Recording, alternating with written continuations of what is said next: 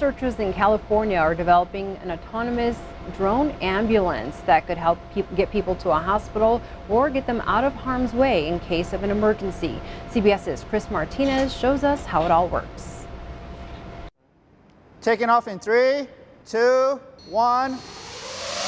It's technology designed to save lives. Researchers at the California Institute of Technology describe this autonomous ambulance as the future of emergency response. We're calling it actually a personal rescue system. Professor Mory Gharib says the self-flying rescue drone has been in development for two years. It's designed to rapidly fly a patient to a hospital or rendezvous point with a doctor.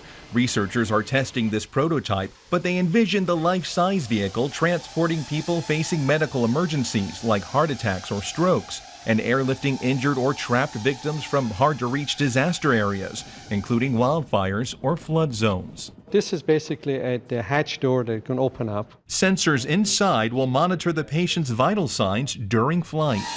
With this one-of-a-kind wall, researchers are simulating nearly every weather condition to test how the drone responds. For now, they're using a one-fifth scale model, but the actual drone will be the size of a small car, and the final version will be piloted by an artificial intelligence system. That can basically negotiate with situations, reason, and make the best decision in order to save the life of the person that it carries. Chicken wings. Researchers hope to test a larger model before the end of 2018. They predict a full-size system could be in use within five years.